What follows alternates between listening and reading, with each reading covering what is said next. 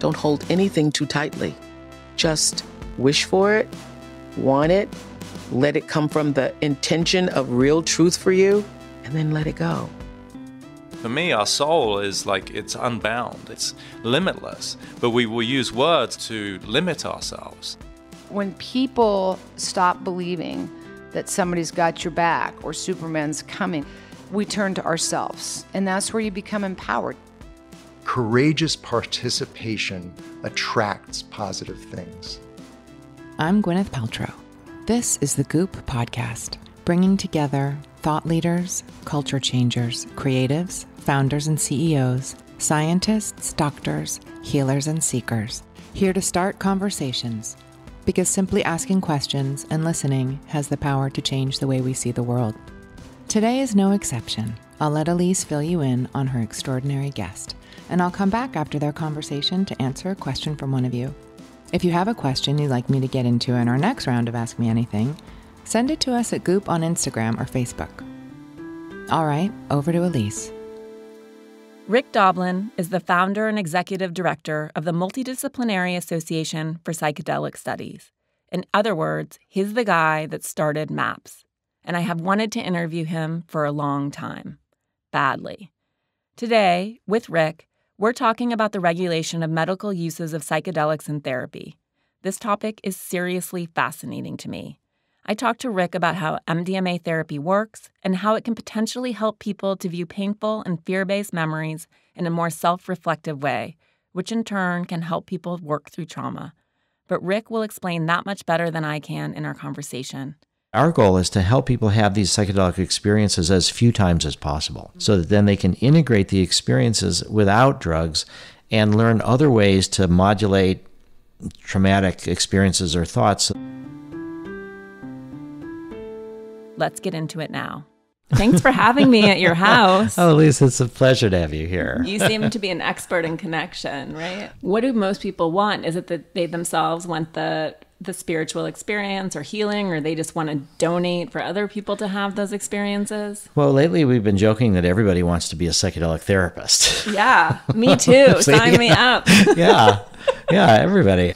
I think that most people, of course, want their own healing and their own sense of connection. And then it's incredibly satisfying to sit for other people and yeah. see them grow and see them move, move out of constrained spaces. And so it's very satisfying. And so I think a lot of people want to do that. But then there's others that say they want to run a psychedelic clinic, but they don't want to be the therapist. Some people mm-hmm. say it's too painful for me to be with people that are suffering, to hear their stories. Mm. And what I've been experiencing is that there's a, there's a delicate balance. You you have to be there with them with their pain and suffering, but if your attention can be more on the growth that's happening rather than the pain that they're growing from, then you can be positive about it and it can be energizing rather than debilitating. Mm-hmm. And, and, so I, I, figure a friend of ours is um, an oncologist. And I figured it must be like that. If you're always dealing with people that are dying and they have cancer, you know, and if you just focus on this cancer, relentless cancer, um, it's going to be very depressing. But if you're actually helping some people get better and helping them live, you can focus not so much on the crisis, but on the response. Mm-hmm.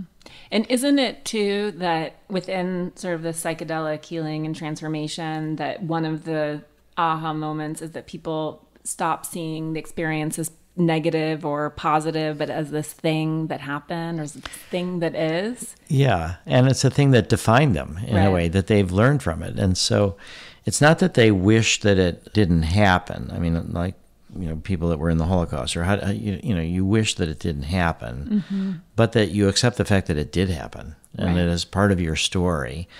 But it, it's a situation you can describe it about the shift between the foreground and the background when you've got trauma, the trauma is in the foreground, and it seems like it's always about to happen. It's defining you. It's it's bigger than you. This is what happened, and it's taken over your life. Mm-hmm. And the thing with the therapy is to process it, to metabolize the fear, to metabolize the trauma, so that it moves into the background. Right. And you're not constantly re-traumatized or triggered, and but it never goes away. So mm-hmm. I think mm-hmm. that's the other big part is people think this therapy is going to make it so that that's never going to be painful whenever I think about it. And it, it's not that. It's more that you can place it in the past. Right. Whereas with PTSD, it's like it's always about happening still.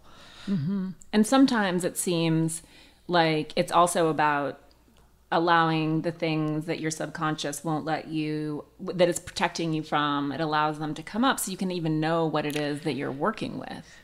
Very much. And so we we've just been talking to some of the people in our studies, and the idea is that if things are unconscious, you might think that they're not bothering you, but they're influencing everything you do, and they're below mm-hmm. your level of awareness. And so when they come to the surface, these painful memories, if you can see that as part of a healing process, then it makes it easier to handle. Mm-hmm. Because then, and what people often say is, I'm scared of losing control. Mm-hmm. And what we tell them is that you're out of control already. That as long as it's unconscious and influencing you, it's completely out of your control.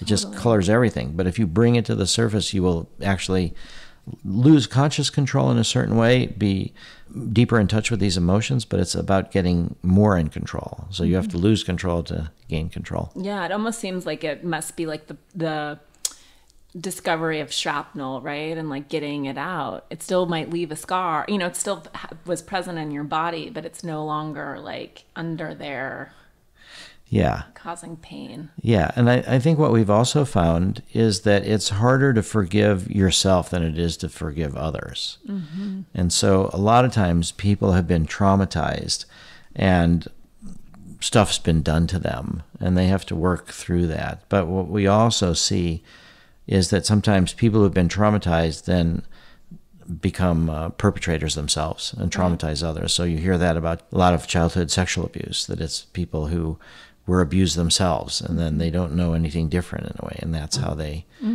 abuse their own children. Right. So that th these sort of traumas that go down from generation to generation are passed in that way. But if you can both surface the trauma that was initially done to you and process that, then you still have to process, which is even harder, the traumas that you've inflicted on others. Right. And so that's where we think that a lot of the the really deep work has to be done. And that's where you need therapists who are not judgmental, who are mm-hmm. compassionate and sympathetic, who, who realize that none of us are perfect. We all have our weaknesses and our moments of, of not living up to our ideal selves, and that it's the struggle to be better that we can identify with rather than judging people for the things that they did wrong. Right. And I think too sometimes even the acknowledgement or having someone who can say, yes, that was traumatic. Because I think that in this culture, mm. trauma is often defined as things that are very extreme, right? Like wartime and childhood sexual abuse. And,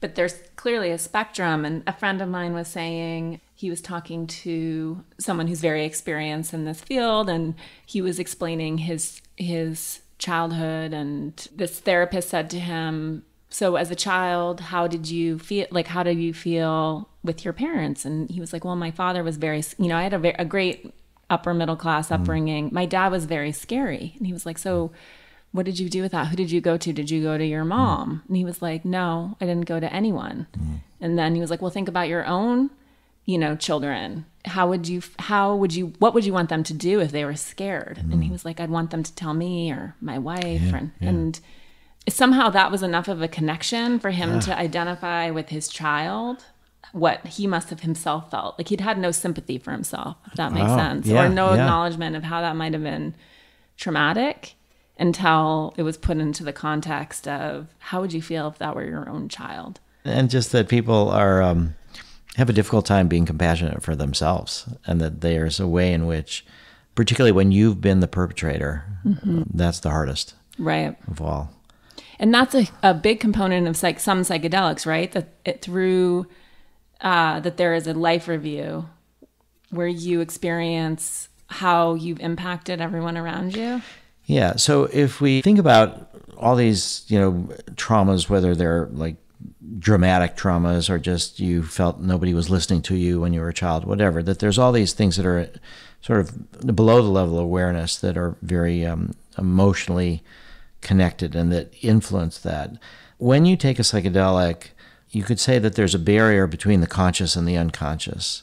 And that barrier is weakened or made more permeable under psychedelics. So Stan Grof says that, uh, Stan Grof meaning the world's more ex- most experienced LSD researcher, says that that LSD is a non-specific amplifier of the unconscious. Mm-hmm. So in our therapeutic approach, we don't know what's most charged for people.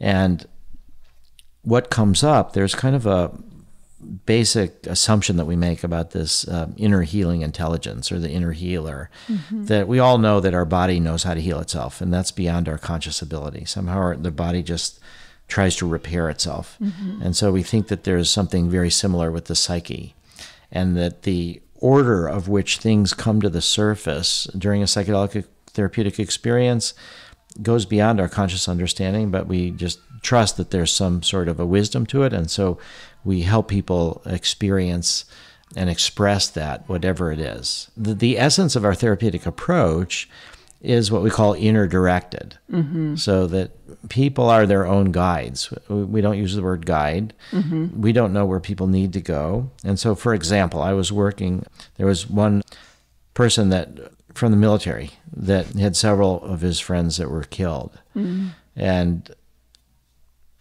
we thought that that's what would be the focus of the therapy sessions. But as it turned out, it went to an earlier time in childhood when he felt that his father had beaten him. Mm. And so the the connection was from seeing his friends who had been murdered by an infiltrator when they were helpless in their sleeping bags. Mm. But it went to his earlier feelings of helplessness being mm-hmm. beaten by his father. So none of us would have been able to predict that. Mm-hmm. But it was something about the energy that was attached to those kind of feelings that that's what emerged for him. So before he could even process what was going on with the, the actual friends of his that were murdered, it was about this feeling of hopelessness and helplessness. Mm-hmm. You know, with him and his father. So there's this inner healer that brings these energy charges to the surface, connected to different episodic memories. And so basically there's episodic memory and emotional memory and they're linked together but they're stored in different parts of the brain mm. and so what we're trying to do is help people actually have a better memory for what happened for the trauma so we find under mdma therapy that people's memories is, are enhanced for the trauma but they're able to look at it as something that has happened in the past that's part of their story but that's not the dominant mm-hmm. element of their story and that it's not happening now. It happened in the past. And that sense of peacefulness and it's in the past then gets, when the memory is what's called reconsolidated in your brain, you're sort of swapped out the fear based memory connected to that incident to mm-hmm. this more reflective, it's in the past, it's part of my story. So then the next time you remember it, you remember the episode, but with the new emotion attached to it that mm. it's in the mm. past and not happening. And so it's not like the memory of the trauma goes away, but it's not linked to such pain as it right. was before. So I know that you have tried everything. no, I haven't. But yeah. you've done LSD, I know, famously. Yeah, yeah, that was your entree. Yeah, yeah. Ibogaine, ayahuasca. Yeah, mescaline. What? Mescaline. Mushrooms yeah. a fair. I I can tell you firsthand that you smoke a lot of pot. yeah, I think that it's important to oscillate between being straight and being high. Okay. There, there was this point in my life when I was like 24 years old. It was kind of a sad day. I even remember it today. I was realizing I can't accomplish what I want to accomplish in my life if I'm wake and bake and stoned all the time. and I was like, damn, I think that's true. I'm going to have to cut down on my pot smoking. But you have accomplished a lot. Well, it's actually 47 years. 47 Since I was 18 years old and decided to devote my life to psychedelics, becoming a psychedelic therapist, going through my own psychedelic therapy and trying to bring it back so I could be a legal psychedelic therapist. What are the primary hurdles for, for that need to be cleared for this to become more mainstream and have application beyond severe PTSD? Well, the, the main hurdle is that we have been um, from 1986, when I started MAPS, to 2016, is when we took us 30 years to get to the point of what's called an end of phase two meeting with FDA. Mm. And so that all those 30 years we're getting permission, getting funding, training therapists, treating, and trying to figure out how to design phase three. Because phase three is the large scale multi site studies that you need to conduct to prove safety and efficacy to get approval for prescription use. Mm-hmm. So, as of a few days ago, we've got 25 out of 200 people in our phase three studies. And we, we may need to treat a few more than 200. We're not sure yet. We'll know that early next year. So, the, the main hurdle is really to continue to enroll patients and treat them.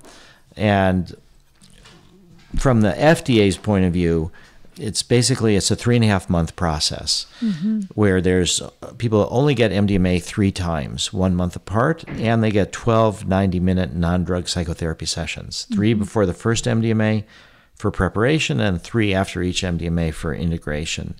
And we're comparing those people that get therapy with inactive placebo versus those people who get therapy with active MDMA. And two months after the last experimental session is what's called the primary outcome measure. Mm-hmm. So we have to complete that for 200 people. But then the other big question is going to be how do we get insurance coverage for it? Mm-hmm. And so we also do a one year follow up which is more for healthcare utilization and to show that it's durable or to see if it's durable.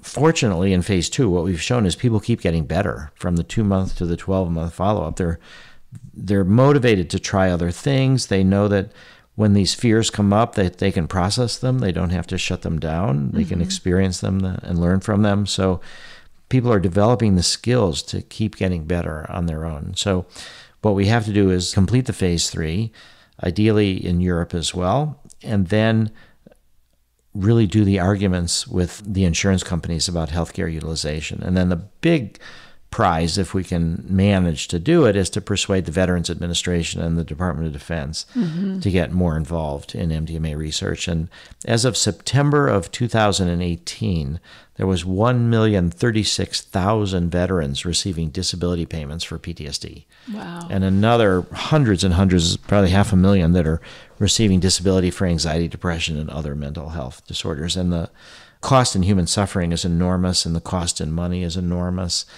Because a lot of these are young people. Most of them are young people. So if they're on disability now, they might be on disability for the next 50 years or 40 years. So it's Right. just enormous. And so what we're hoping is that one day the Veterans Administration will be willing to either do MDMA therapy inside the VA or refer people to outside clinics and then pay for it. Mm-hmm. And we've started trying to work inside the VA in 1990.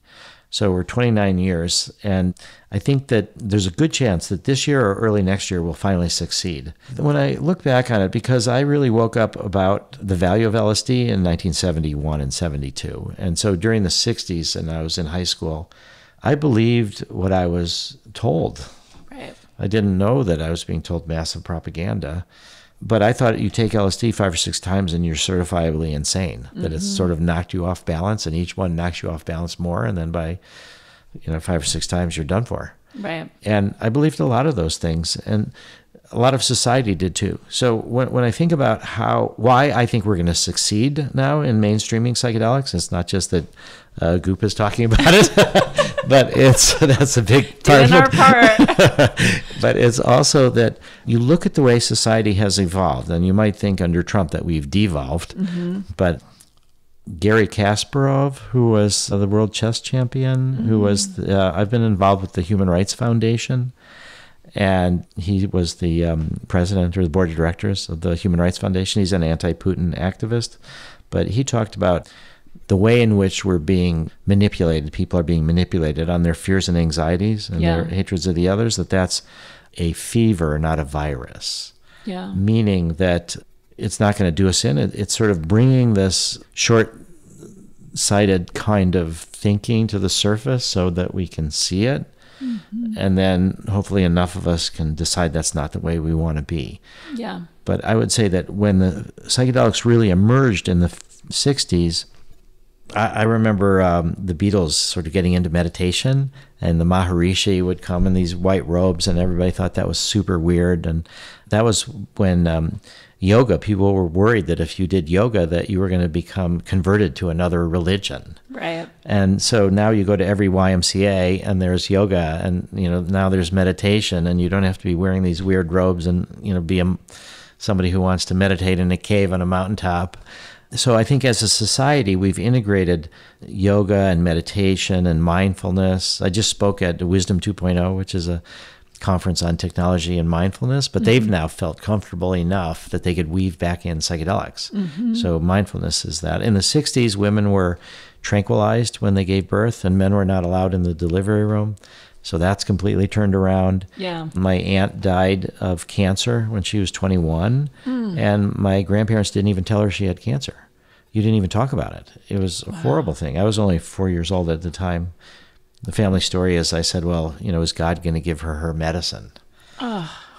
But now we have hospice centers. So the first hospice center was 1974, mm-hmm. and now there's 6,000 hospice centers in America. So we've re-evaluated our approach to death and birth, mm-hmm. to spirituality and meditation and yoga, and if you look at advertising and you look at movies and look at psychedelic imagery that's throughout all these movies and just the the art and the creativity of psychedelics has also become more mainstreamed mm-hmm.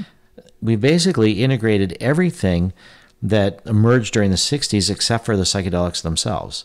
And the other big thing that we've done is that psychedelics, when they came out in the 60s, were so connected to the counterculture, to people who were protesting, to the youth who were against the Vietnam War. And, you know, I myself was a draft resistor for Vietnam.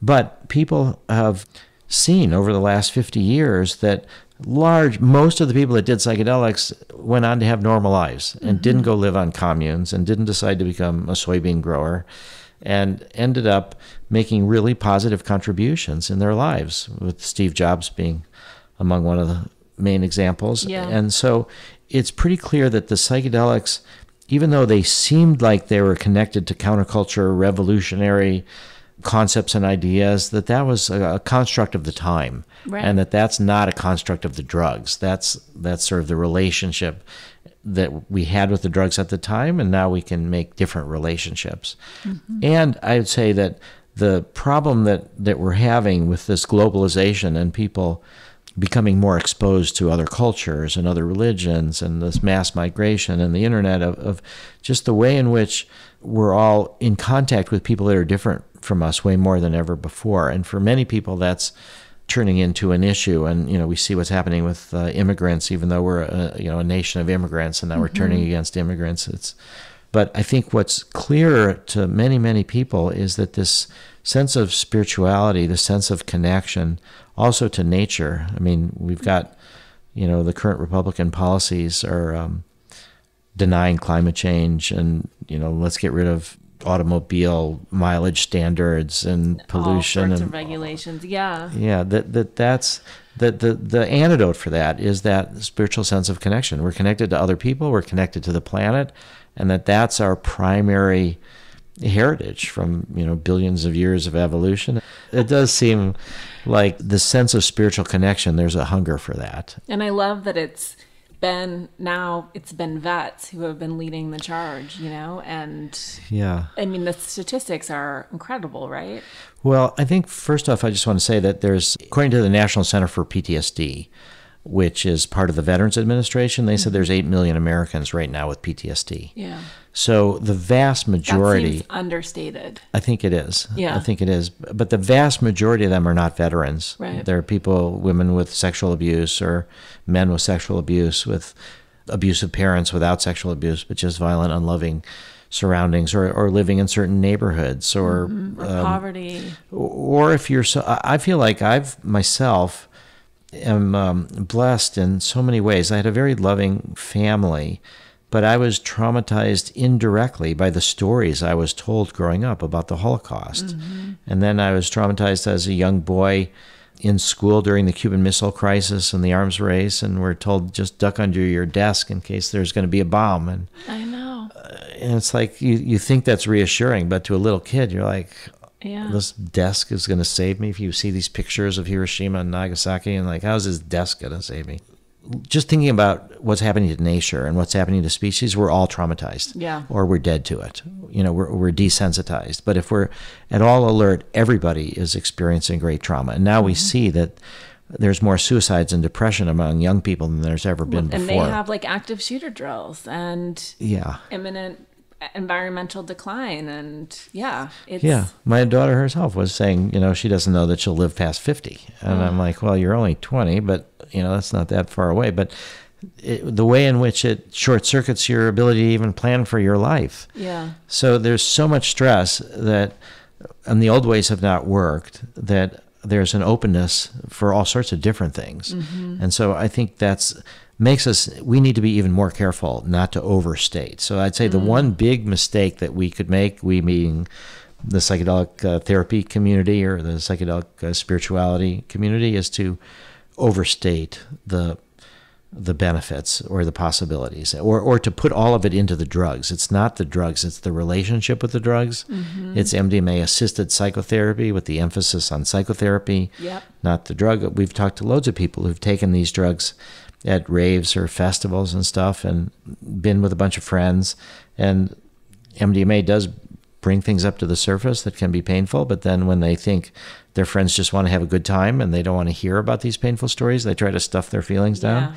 They end up worse off for months or years afterwards. right So we just have to be careful not to overstate it. It's not going to work for everybody, but these drugs are remarkable and they've been used for thousands of years. I mean, we have new ones that have recently been invented, but they're similar in this uh, way of bringing things from the unconscious to the conscious. So that I think uh, the need is so great that we just have to be measured and balanced about how we present the possibilities. right no they're a tool right in Yeah. the toolkit along Yeah, with yeah. holotropic breath work and somatic therapy and but i think it's interesting to think about the other what they bring up and then how the trauma can be expressed and then what that also suggests in the way of therapy And I think the fact that you, you talked about the holotropic breath work. So Stan Grof was so brilliant in the sense that when LSD was criminalized, he found a way using uh, hyperventilation, which is basically holotropic breath work, says just breathe faster and deeper. Nothing more complicated than that. But in a context where you're understanding you're trying to bring things to the surface. Mm-hmm. And so the beauty of that is to realize that even with drugs, what's coming up is not drug experiences, it's human experiences that the drugs make us accessible to. But you can get to that through meditation, through breath work, through yoga, through any number of different ways, flotation tanks or making love or all different ways and that they're properties of humanity and that we we need to really learn all the different ways. And one of the most important things I'd say from the world of psychedelics and why we're talking about nonprofit drug development is that our goal is to help people have these psychedelic experiences as few times as possible. Mm-hmm. So that then they can integrate the experiences without drugs and learn other ways to modulate traumatic experiences or thoughts so that our goal is to make people their baseline to improve their baseline without drugs and we think that psychedelics encased in a therapeutic process only need to be used a few times Yeah, because it's not in my from my understanding, and you're obviously far more expert, but that it's not it's work. It's not this process like the eight hour MDMA Yeah. session with two therapists. Like it's like childbirth a little bit. Yeah. that it's not a recreational fun time. well a bunch of the people have said uh, i don't know why they call this ecstasy right. yeah, a bunch of our patients have said that, and I think your your analogy to childbirth is exactly right because the therapists are like the midwives, and so we're but the people have to do the work themselves. People heal themselves. We just try to provide a safe support. We know the process in general. We know where they could be getting stuck. We know certain ways to help them reorient themselves when they're stuck. Mm-hmm. But really, we're not doing the work. We shouldn't be taking the credit. And so, what we have learned that's different from the research with LSD or psilocybin, both from the 50s and 60s and currently, is that in that research with addiction, with people scared of dying, with depression, it seems that there's a relationship between the mystical experience, going beyond ego states, the sense mm-hmm. of unity and connection between the depth of those experiences and therapeutic outcomes. The more people have this kind of unit of mystical experience, the better they seem to do. Mm-hmm. However, we do not find that with MDMA for PTSD. It, it seems that the mystical experience, which people do have under MDMA, in fact, my I would say my most mystical experience of my life was under MDMA, not LSD or all these other drugs that I've taken, but that you need to really be grounded in your ego, in your biography, and what happened, in the memory of your trauma, but feeling safe in order to get better from it. And it's mm-hmm. not about this ego dissolution mystical experience. Just a second, we're taking a quick break.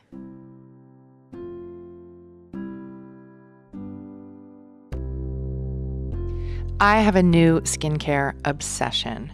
This one is a weekly thing, and it is called Goop Glow Glycolic Acid Overnight Peel, which I definitely cannot say 10 times fast. But if you're remotely as into exfoliating as I am, I think you are going to be curious about this.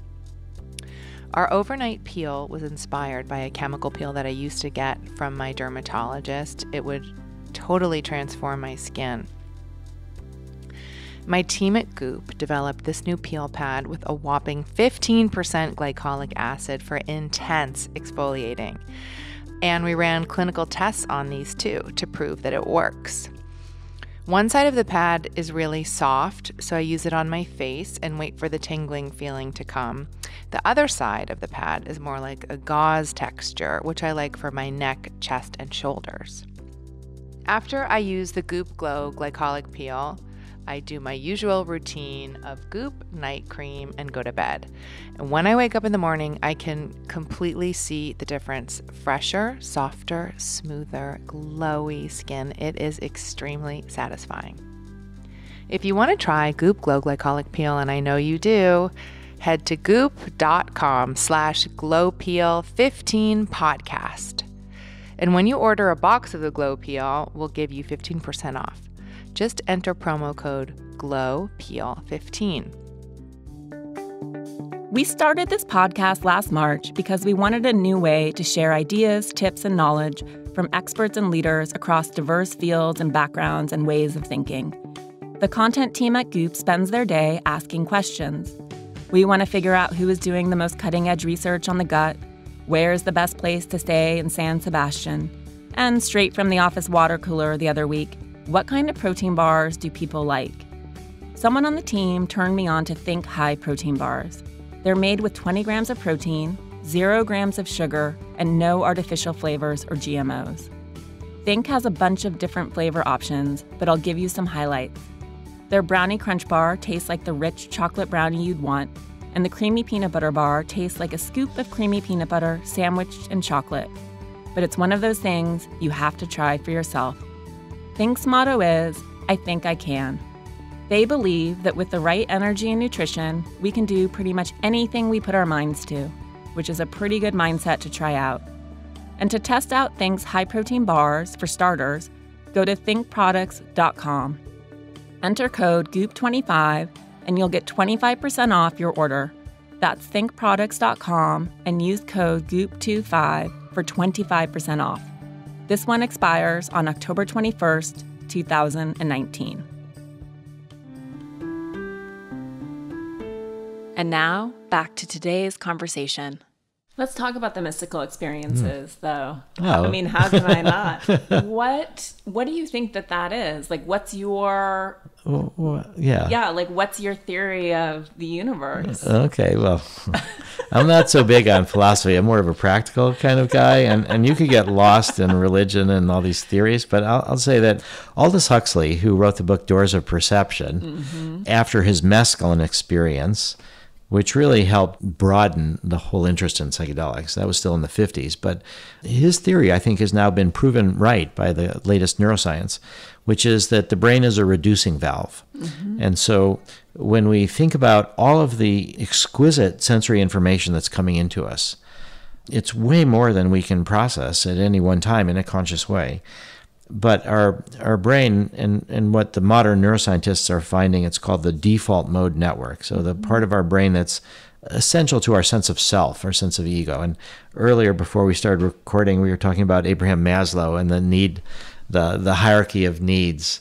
And so I think that what we're what's happening is that our our brain our sense of self is filtering perceptions according to our hierarchy of needs. Mm-hmm you know, if we think we're, you know, starving, you know, it'll be more focused on food, or if we need shelter, it'll be on that, or, or you know, we need social needs, social affirmations, and all different kind of purpose in life, meaning in life, self-actualization. We have all these different needs.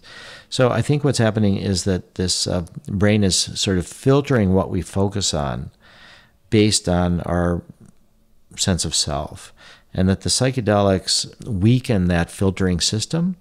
And so we have a flow of information that is always there, but that we're usually not paying attention to. Mm-hmm. And it weakens that sort of point of reference from our ego. And then we just see how much we're part of this big, enormous community of humanity, of, of animals, of life on earth, of you know this evolutionary process, and that that's spiritual is to realize that you know we're stardust. I mean that's kind of mm-hmm. a, a song, you know, but it's at the same time it's true when you think about where a lot of these elements come from in our body and so you realize you're you're you're not this you we are both bounded in time and space and in birth and death but we're also part of something much much larger right. and i think that most of the time we're just focused on this bounded in time and space between life and death and what's the meaning and there's nothing before and nothing after yeah but i think under psychedelics you realize that we're just part of this enormous glorious adventure.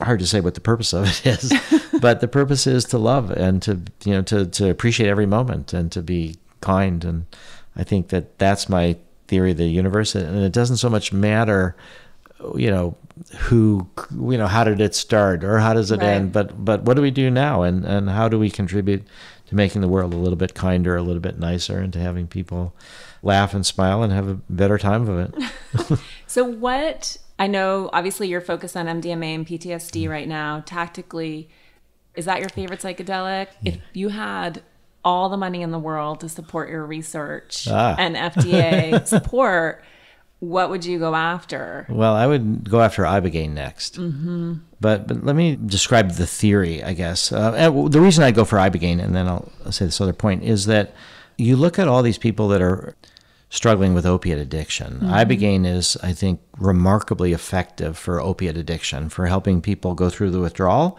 but also having them have psychological experiences about things that they've not wanted to see, what they've suppressed. Mm-hmm. So that comes to the surface. They can see more how they're hurting themselves and others, but they can also have a spiritual sense of connection. So I think of all the people that are Trump supporters, there's some sociologists that have done some studies about what are called despair deaths. So despair deaths are deaths from alcoholism, suicide, and drug addiction. And the counties that have more despair deaths, more vote for Trump. Mm. That's not the only reason people vote for Trump, but you know that's one of the dominant things. So I think how do we address the pain and the suffering that the Trump supporters are feeling? Mm-hmm. What what can we offer to them that's more of a real benefit than this pseudo benefit of displace your fears and anxieties on these other people and go after them and they're the cause of your problems. Mm. And I think that the psychedelics can help people cope with addictions. And I think ibogaine can help particularly with opiate addiction and it can also help spiritualize all sorts of people that are otherwise um, hopeless and unclear and you know what we see with medical marijuana actually is that and marijuana legalization is that those people that the the most important predictor of whether somebody is in favor of legalizing marijuana is if they know a medical marijuana patient. Mm. So then they get their own direct information that they believe. So I think that if we can help a bunch of people with ibogaine overcome their opiate addictions and they feel a little bit more spiritual and connected, they will change other minds. But what I wanted to say before is that the strategy, and I love that idea of if I had all the money in the world, but I'll, I'll just say that I had a ketamine experience, I had a DMT experience one day where I was feeling the spiritual sense of connection. And, and, at one point, I had this idea that in the deepest recesses of our minds, where we think it's super private, mm-hmm. you know, where we're thinking and nobody can hear our thoughts, but we're thinking, I realized that I was thinking with words, mm-hmm. and I didn't invent those words. Other people invented those words. So in my head was thousands of years of, of language development and of all of this, so that even in my innermost private spot, that it wasn't really private. It was part of this whole collective that it permitted me to reach these thoughts. and then it was just this beautiful thing about the sweep of history and how glorious that was and i'm part of this you know massive evolutionary process and but then i realized that i couldn't just claim to be part of everything that was good if i'm part of everything and everything is part of me then hitler is inside me too mm-hmm. so when i realized that logically and i didn't sort of turn away from it it was like i sunk like a stone and it was a horrible realization that I've got this inner Hitler that mm-hmm. I want to control, and I, I, have aspects of me that are like that. And that took me about a day to just even just deal with that idea. It was really difficult. And the next day we did ketamine. This was um, a group of us at Esalen preparing to defend MDMA. This is back in 1985. so the ketamine experience, I'm hovering above and behind Hitler as he's giving a speech. And I've always been, you know, traumatized by the Holocaust, terrified by Hitler, and so. But the ketamine gave me this feeling that I was um, safe. I wasn't quite there. I was sort of above and behind him, and I got this whole sense as he's giving the speech to you know tens of thousands, hundreds of thousands of people. I started thinking, how do we get inside his head? How do I get inside his head so that he doesn't want to kill all these people? How, how do we undo that kind of madness. And then I saw that the the Heil Hitler salute in a whole different way than I'd ever seen it. So I so he, so when he does this Heil Hitler, and then everybody does it back to him, I felt like it was this ping pong almost like this ball of energy that he was pushing it out to them, and then they were the crowd was sort of pushing it back to him. And then they would repeat it back and forth, and it was like this ball that was getting more intense with all, and it was like this the many giving the power to the one mm-hmm. and sort of back and forth and back and forth and how they could all be kind of involved in this group kind of thinking and that they could all feel and and then I felt like if I panic I felt the fear rise in me. And I, I felt if I panic I'm never going to be able to undo this or think about this. And and then I realized with ketamine that I could just breathe and that if I could breathe I wouldn't be so terrified and so I felt like I didn't panic. But then I, I kind of recognized that there was no way to change his mind, mm-hmm. that he was getting so much out of it, Hitler was getting so much out of it, that, and the fundamental thing is that you have to be willing to change. You know, you can't just give somebody a psychedelic and they're going to have a spiritual experience. They have to be willing to go into spaces. So I actually realized that ironically, you could say that it's easier to change the minds of 100,000 people that are giving away their power to a dictator than to change the mind of the one person mm. because they're getting so much out of it and they don't necessarily want to change. Right. So what that means to me is mass mental health. That's the long-term goal and that has to go beyond medicine. So mm-hmm. the medicine route, the nonprofit pharmaceutical company is a strategy that makes sense in and of itself to bring these drugs to the surface for treating people that are suffering for whom other things haven't worked so well. Mm-hmm. But that's only part of it. And then there's another part like religious freedom. But you know, we have the Native American church that can use peyote, and some of the ayahuasca churches are legal in the U.S. But again, you're stuck in this religious framework. Mm-hmm. So I think we need to move beyond religion, move beyond medicine to fundamental human rights to change your consciousness. And so the strategy that you asked me about, if I had all the money in the world, is to medicalize a series of psychedelics and then roll out thousands and thousands and thousands of psychedelic clinics. Mm-hmm. And then once there's enough of those, then we start really developing mass mental health in this spiritual way. And I think that's really going to be a necessary prerequisite to getting over where humanity is right now. Totally. And I think that the people who are most traumatized and addicted are the ones who are the currently the most disenfranchised. Yeah. And so go, starting there and sort of bringing them into the fold feels essential in this country. Yeah, and, and, also what we see is, I mean, even the fact of this podcast is that scientific studies are um, covered by the media. Mm-hmm. You know, so if, if if I had just been doing you know psychedelics, we wouldn't be talking. But it was psychedelic research mm-hmm. that granted a certain kind of legitimacy. But what I'm saying goes beyond psychedelic research mm-hmm. in a way. So I think this focus on healing the worst off, and particularly that's why we work with severe chronic PTSD because there's a lot of people that are stuck in that that, that mm-hmm. they don't have tools that are that whatever they've tried hasn't worked for them, and mm-hmm. so there needs new tools.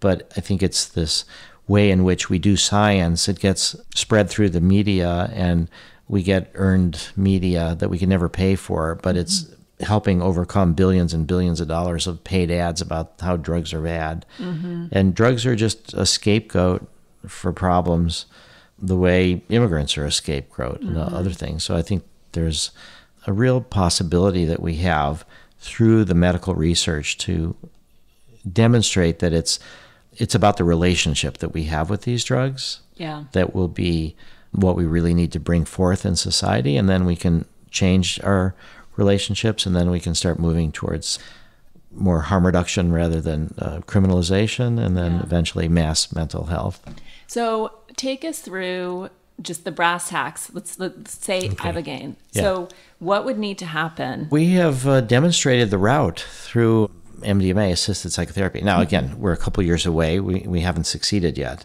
But for Ibogaine to become a medicine, Ibogaine has certain risks, mm-hmm. and people have died from heart problems related to it. Mm-hmm. However, in a medicalized setting, when people take Ibogaine and they're monitored, nobody needs to die and nobody needs to have any permanent damage. Right. And it's also a very effect like probably health impaired, health impacted population, right? Yeah. If you're talking about IV Yeah. people who are shooting up heroin. Yeah, yeah, they're already, uh, you know, health compromised. Yeah. Right. So the first thing that needs to happen is a medical grade version of ibogaine, what's called GMP, good manufacturing practices that would be accepted by FDA.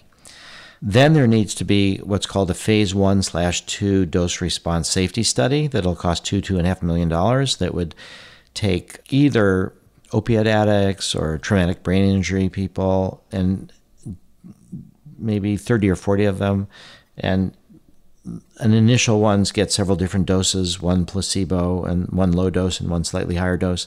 So we need to demonstrate safety basically to the satisfaction of the fda so first off you get the drug. Then you get these safety studies in humans.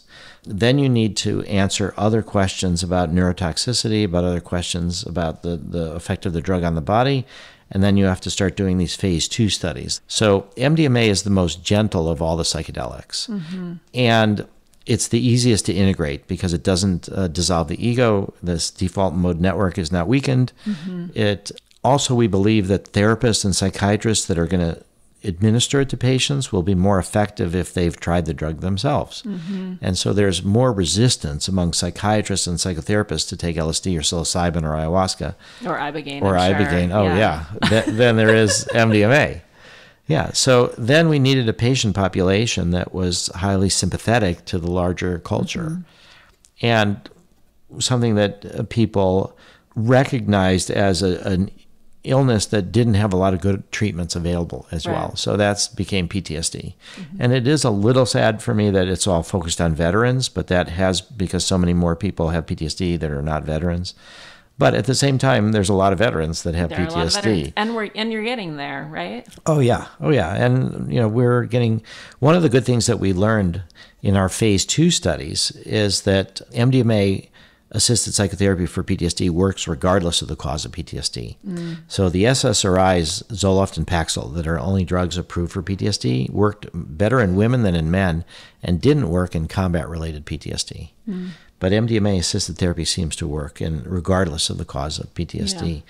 So I, I think the way to make ibogaine into a medicine, the way to make psilocybin into a medicine, LSD, it's it's through accepting the scientific methodological approach as developed by regulatory agencies, and instead of saying, you know, that's oppressive or mm-hmm. you know. It, You gotta it- work in the it- system. It, it takes around fifty million dollars, I would say. So that's an enormous amount of money. But when you think of all these billionaires. Sacklers. well, we've approached them. That's a so good. point. Did you know that we've been in touch with them? No, but Oh, yeah. it seems like maybe they need to get behind this. Well, here's it's funny that you mentioned that. So the same person, Thor Halvorssen, who started the Human Rights Foundation, is the one that introduced me to Rebekah Mercer, Elizabeth Koch, and Richard Sackler. So what we proposed to Sackler, there's all sorts of things about uh, toxic uh, donors, uh, but it seems like from an ethical point of view that if the Sacklers were to, you know, they were the owners of Purdue Pharma and OxyContin and all, that if they were to support fund funding research into the treatment of opiate addiction, that that would be completely appropriate. And so mm-hmm. that's what we were asking them for. They had us talk with the uh, Purdue Pharma Office of um, Social Responsibility, Corporate Responsibility, which was a newly formed office. and what was really disappointing to me was that in the end, they decided not to fund ibogaine research. And then a few months after that, they came out with a statement that they had patented a new approach to treating addiction, which was a new maintenance drug. Mm. That they had made some kind of combinations. And so they, they were, in a way, proposing they would make money off of weeding people off of opiates and, and get you on these drugs that you need to take, like methadone, on a daily basis for months or years or decades at a time. So I say the Sacklers had an opportunity to directly remedy some of the problems that they helped cause and chose not to. So we need $50 million.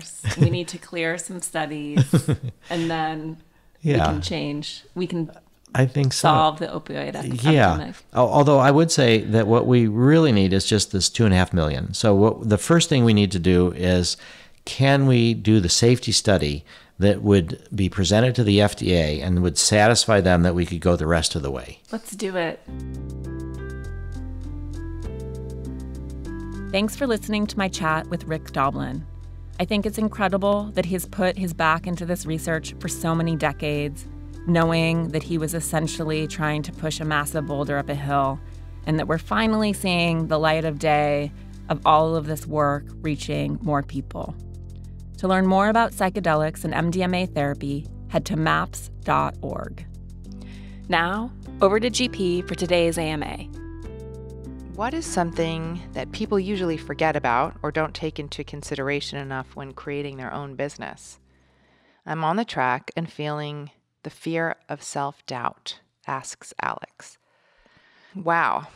Well, Alex, first of all, bravo, because you're embarking on something incredibly brave. And I wish that there was an easier solution that I could give you, but you're really going to be the only one as an entrepreneur to assuage your self doubt. And that's really part of the entrepreneurial process, you know, to weather the ups and downs. But really, you're always going to have to come back to the place of believing in yourself more than anybody else. And that's not always easy to do, believe me. You're going to really have to be the person to shore yourself up. And I think that means that you're going to have to get really intimate with what's going on in your mind, body, and heart, and take time every day to really check in with yourself. Because I think that when you're in your body and you're present, it's easier to feel what's real and might be an issue for you to tackle or what might be fear and those negative voices coming in. It's really important to be able to separate those two things. But good luck.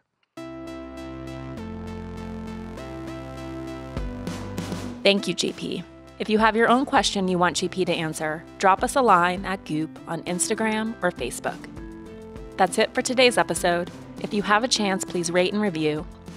Hit subscribe to keep up with new episodes and pass it along to a friend. Thanks again for joining. I hope you'll come back next week for more. And in the meantime, you can check out goop.com slash the podcast.